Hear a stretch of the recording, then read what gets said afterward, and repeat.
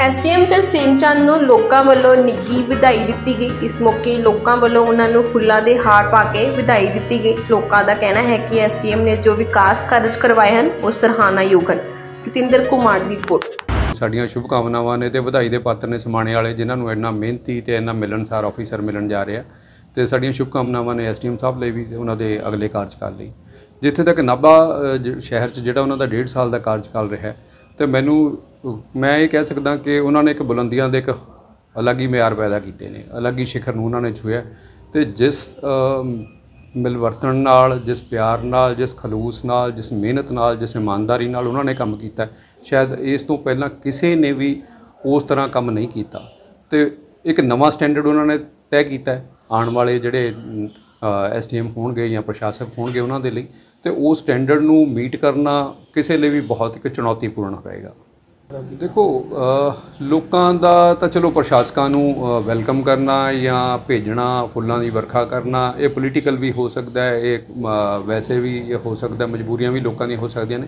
ਪਰ ਇੱਥੇ ਜਿਹੜਾ ਜਿਹੜੀ ਵਰਖਾ ਫੁੱਲਾਂ ਦੀ ਹੋਈ ਹੈ ਜਾਂ ਜਿਸ ਤਰ੍ਹਾਂ ਉਹਨਾਂ ਨੂੰ ਵਿਦਾ ਕੀਤਾ ਗਿਆ ਹੈ ਜਿਸ ਤਰ੍ਹਾਂ ਮੈਂ ਮਨਰੇਗਾ ਕਾਮਿਆਂ ਦੀਆਂ ਅੱਖਾਂ 'ਚ ਵੀ ਮੈਂ ਹੰਝੂ ਦੇਖੇ, ਜਿਨ੍ਹਾਂ ਨੇ ਉਹਨਾਂ ਨੂੰ ਵਿਦਾ ਕੀਤਾ, ਉਹਨਾਂ ਤੇ ਫੁੱਲ ਸਿੱਟੇ ਨੇ। ਤੇ ਇਹ ਜਿਹੜਾ ਉਹਨਾਂ ਦਾ ਪਿਆਰ ਹੈ, ਉਹਨਾਂ ਨੇ ਸਤਿਕਾਰ ਹਰ ਆਮ ਬੰਦੇ ਨੂੰ ਦਿੱਤਾ। ਕਿਸੇ ਪਾਰਟੀ ਦੀ ਉਹਨਾਂ ਨੇ ਪਰਵਾਹ ਨਹੀਂ ਕੀਤੀ ਕਿ ਕੌਣ ਕਿਹੜੀ ਪਾਰਟੀ ਦਾ ਹੈ, ਕੌਣ ਕਿਹੜੇ ਧਰਮ ਦਾ ਹੈ, ਕੌਣ ਕਿਹੜੇ ਮਜ਼ਹਬ ਦਾ ਹੈ, ਕੌਣ ਕਿਹੜੇ ਵਰਗ ਦਾ ਹੈ, ਕੋਈ ਗਰੀਬ ਹੈ, ਅਮੀਰ ਹੈ, ਸਭ ਨੂੰ ਇੱਕਸਾਰ ਲਿਆ। ਤੇ ਜਿਹੜਾ ਉਹ ਪਿਆਰ, ਸਤਿਕਾਰ ਦਿੱਤਾ, ਇਹ ਉਹਦਾ ਹੀ ਨਤੀਜਾ ਕਿ ਲੋਕਾਂ ਨੇ ਇਹਨਾਂ ਭਰਮਾਂ ਉਹਨਾਂ ਦਾ ਜਿਹੜਾ ਵਿਦਾਈ ਪਾਰਟੀ ਲਈ ਜਿਹੜਾ ਹੁੰਗਾਰਾ ਭਰਿਆ।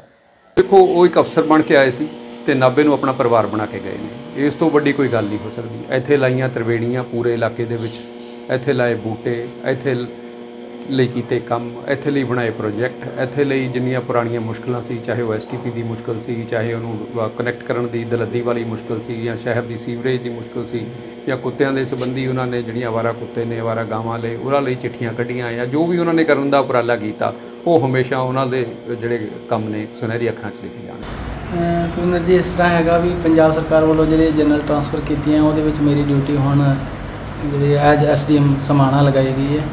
ਤੇ ਉਹ ਅੱਜ ਮੈਂ ਜਿਹੜਾ ਚਾਰਜ ਛੱਡਿਆ ਹੈਗਾ ਤੇ ਨਾਭਾ ਵਾਸੀਆਂ ਦਾ ਬਹੁਤ ਸਾਰਾ ਪਿਆਰ ਮਿਲਿਆ, ਬਹੁਤ ਮੋਹ ਦਿੱਤਾ ਵਧਾਈ ਕਿਸੇ ਮੈਨੂੰ ਤਾਂ ਨਹੀਂ ਮੈਂ ਕਦੇ ਸੋਚਿਆ ਨਹੀਂ ਸੀ ਵੀ ਇਸ ਤਰ੍ਹਾਂ ਇੰਨਾ ਮੋਹ ਕਰਦੇ ਨੇ ਲੋਕ।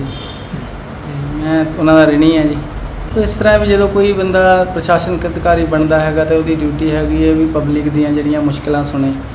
ਤੇ ਮੇਰੇ ਜਿਹੜੇ ਸੀਨੀਅਰਸ ਨੇ, ਮੇਰੇ ਜਿਹੜੇ ਡੀਸੀ ਸਾਹਿਬਾਨ ਰਹੇ ਨੇ, ਜਿਹੜੇ ਹੁਣ ਨੇ ਪਹਿਲਾਂ ਵੀ ਰਹੇ ਨੇ ਉਹਨਾਂ ਸਾਰਿਆਂ ਦੀਆਂ ਹਦਾਇਤਾਂ ਸੀ। ਪੰਜਾਬ ਸਰਕਾਰ ਦੀਆਂ ਵੀ ਹਦਾਇਤਾਂ ਸੀ ਵੀ ਜਦੋਂ ਕੋਈ ਪਬਲਿਕ ਆਉਂਦੀ ਹੈ ਤਾਂ ਉਹਦਾ ਸਭ ਤੋਂ ਪਹਿਲਾਂ ਤਾਂ ਪਿਆਰ ਨਾਲ ਉਹਦੀ ਗੱਲ ਸੁਣੋ। ਮੇਰੇ ਦਫ਼ਤਰ ਦੇ ਵਿੱਚ ਇਹ ਸੀ ਮੈਂ ਜਦੋਂ ਪਬਲਿਕ ਨੂੰ ਸੁਣਦਾ ਸੀ ਮੈਂ ਸੋਚ ਸੋਚ ਕੇ ਸੁਣਦਾ ਸੀ ਵੀ ਜੇ ਮੈਂ ਉਹਨਾਂ ਦੀ ਜਗ੍ਹਾ ਹੁੰਦਾ ਤਾਂ ਮੈਨੂੰ ਕਿਵੇਂ ਮਹਿਸੂਸ ਹੁੰਦਾ। ਤੇ ਹੁੰਦਾ ਮੇਰਾ ਫਰਜ਼ ਬਣਦਾ ਸੀ ਵੀ ਉਹਨੂੰ ਦੇਖੋ ਇਸ ਤਰ੍ਹਾਂ ਹੁੰਦਾ ਬੰਦਾ ਜਦੋਂ ਕਿਸੇ ਪ੍ਰਸ਼ਾਸਨਿਕ ਅਧਿਕਾਰੀ ਕੋਲੇ ਆਉਂਦਾ ਤੇ ਉਹਨੂੰ ਬੜੀ ਆਸ ਹੁੰਦੀ ਹੈ ਤੇ ਜੇ ਉਹਨੂੰ ਬਿਠਾ ਕੇ ਪਾਣੀ ਪਿਲਾ ਕੇ ਪਿਆਰ ਨਾਲ ਗੱਲ ਪੁੱਛ ਕੇ ਦਾਦਾ ਦੁੱਖ ਤਾਂ ਵੈਸੇ ਦੂਰ ਹੋ ਜਾਂਦਾ ਹੈ। ਪੰਜਾਬ ਸਰਕਾਰ ਦੀਆਂ ਵੀ ਇਹੀ ਹਦਾਇਤਾਂ ਨੇ ਜੀ ਪਾਲਿਸੀ ਹੈਗੀ ਹੈ ਤੇ ਮੈਂ ਉਹਨਾਂ ਹਦਾਇਤਾਂ ਦੀ ਪਾਲਣਾ ਕੀਤੀ ਤੇ ਲੋਕਾਂ ਦੇ ਜਿਹੜੇ ਕੰਮ ਵੱਖ-ਵੱਖ ਮਹਿਕਮਿਆਂ ਦੇ ਸੀ ਜੇ ਮੇਰੇ ਦਫ਼ਤਰ ਦਾ ਸੀ ਤਾਂ ਉਹ ਕੀਤਾ ਰੂਲਾਂ ਦੇ ਵਿੱਚ ਜਿਹੜਾ ਸੀਗਾ ਐਂਡ ਜੇ ਕਿਸੇ ਬਾਹਰਲੇ ਦਫ਼ਤਰ ਦਾ ਕੰਮ ਰੂਲਾਂ ਦੇ ਵਿੱਚ ਸੀ ਤਾਂ ਅਧਿਕਾਰੀਆਂ ਨੂੰ ਫੋਨ ਕਰਕੇ ਕਈ ਵਾਰੀ ਫੋਨ ਕਰਨ ਨਾਲ ਜਿਹੜਾ ਹੈਗਾ ਅਮ, ਵੀ ਅਧਿਕਾਰੀ ਅਮ, ਵੀ ਐਸਡੀਐਮ ਸਾਹਿਬ ਦਾ ਫੋਨ ਆਇਆ ਤੇ ਜਲਦੀ ਹੋ ਜਾਂਦਾ ਹੈਗਾ ਤੇ ਮੋਰਓਵਰ ਜਿਹੜੇ ਵੱਖ-ਵੱਖ ਮਹਿਕਮੇ ਸੀਗੇ, ਉਹਨਾਂ ਦੀਆਂ ਜਿਹੜੀਆਂ ਪੰਜਾਬ ਸਰਕਾਰ ਵੱਲੋਂ ਵੱਖ-ਵੱਖ ਸਕੀਮਾਂ ਚਲਾਈਆਂ, ਉਹਨਾਂ ਨੂੰ ਟਾਈਮ ਸਿਰ ਰਿਵਿਊ ਕੀਤਾ, ਕਿ ਉਹਨਾਂ ਦੇ ਟਾਰਗੇਟ ਸੀ, ਕਿ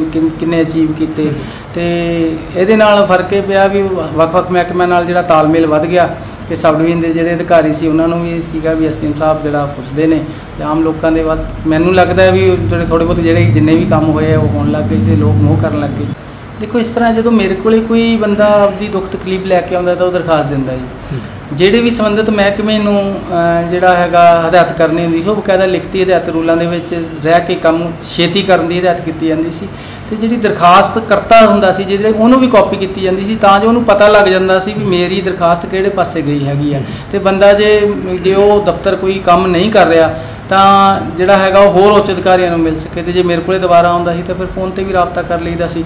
ਇਹੀ ਹੁੰਦਾ ਜੀ ਵੀ ਪ੍ਰਸ਼ਾਸਨਿਕ ਅਧਿਕਾਰੀ ਜਿਹੜਾ ਹੈਗਾ ਜੀ ਥੋੜਾ ਜਿਹਾ ਕੰਮ ਬੰਦੇ ਦਾ ਕੰਮ ਕਰਦੇ ਤਾਂ ਉਹ ਬੰਦੇ ਨੂੰ ਖੁਸ਼ੀ ਹੁੰਦੀ ਹੈ ਤੇ ਮੈਂ ਆਪਣੇ ਆਪ ਨੂੰ ਵੀ ਸਕੂਨ ਮਿਲਦਾ। ਬਾਬੇ ਨਾਨਕ ਨੇ ਜਿਹੜੀ ਇਹ ਬਖਸ਼ੀ ਹੈ ਜੀ, ਅਫਸਰੀ ਬਖਸ਼ੀ ਹੈ ਤਾਂ ਉਹਦੀ ਜਿਹੜਾ ਹੈਗਾ ਉਸ ਅਫਸਰੀ ਨੂੰ ਸਹੀ ਢੰਗ ਨਾਲ ਨਿਭਾਉਣਾ ਚਾਹੀਦਾ। ਇਹੀ ਫਰਜ਼ ਬਣਦਾ ਹਰੇਕ ਪ੍ਰਸ਼ਾਸਨਿਕ ਅਧਿਕਾਰੀ ਦਾ ਵੀ ਲੋਕਾਂ ਦੇ ਵੱਖ-ਵੱਖ ਮਹਿਕਮਿਆਂ ਦੇ ਕੰਮ ਹੋਣ ਤੇ ਤਾਲਮੇਲ ਬਣਾ ਕੇ। ਹਾਂਜੀ ਉੱਥੇ ਹੀ ਰਿਹਾਇਸ਼ ਕਰਨੀ ਹੈਗੀ ਹੈ ਜੀ ਤੇ ਕੋਸ਼ਿਸ਼ ਕਰਾਂਗੇ ਜੀ। ਮੈਂ ਦੇਖੋ ਇਹ ਹੈਗਾ ਵੀ ਜਦੋਂ ਬੰਦਾ ਅਹ, ਦਿਲੋਂ ਕੋਸ਼ਿਸ਼ ਕਰਦਾ ਹੈ ਤਨਦੇਹੀ ਨਾਲ ਕੰਮ ਕਰਦਾ ਹੈ ਤੇ ਉਹਦੇ ਰਿਜ਼ਲਟ ਤਾਂ ਆਉਂਦੇ ਨੇ ਜੀ।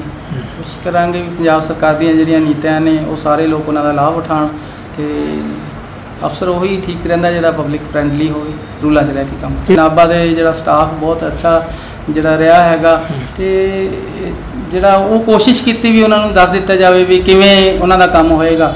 ਗਾਈਡ ਕਰ ਦਿੱਤਾ ਜ- ਦਿੱਤਾ ਜਾਂਦਾ ਸੀਗਾ, ਜਿੱਥੇ ਕਹਿਣਾ ਹੁੰਦਾ ਕਹਿ ਦਿੱਤਾ ਜਾਂਦਾ ਸੀ, ਤੇ ਇਹੀ ਮੇਰੀ ਡਿਊਟੀ ਬਣਦੀ ਹੈ ਜੀ ਤੇ ਨਾਭਾ ਨਿਵਾਸੀ ਵੀ ਬਹੁਤ ਅੱਛੇ ਨੇ, ਬਹੁਤ ਮੋਹ ਦਿੱਤਾ ਹੈਗਾ ਜੀ ਜਿਹੜੀ ਮੈਨੂੰ ਇੰਨਾ ਜਿਹੜੀ, ਇੰਨਾ ਮੋਹ ਦਿੱਤਾ ਵੀ ਮੈਨੂੰ ਇਹ ਇਹ ਆਸ ਨਹੀਂ ਸੀ ਵੀ ਇੰਨੇ ਲੋਕ ਆਉਣਗੇ ਤੇ ਨਾਭਾ ਦੇ ਲੋਕ ਬਹੁਤ ਅੱਛੇ ਨੇ ਮੈਂ ਉਹਨਾਂ ਦਾ ਰਿਣੀ ਹਾਂ, ਧੰਨਵਾਦੀ ਹਾਂ ਵੀ ਇੰਨਾ ਮੋਹ ਦਿੱਤਾ Excellent coaching point in IELTS and spoken English.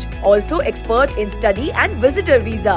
Government approved. SS Group. Session Chowk Hoshiarpur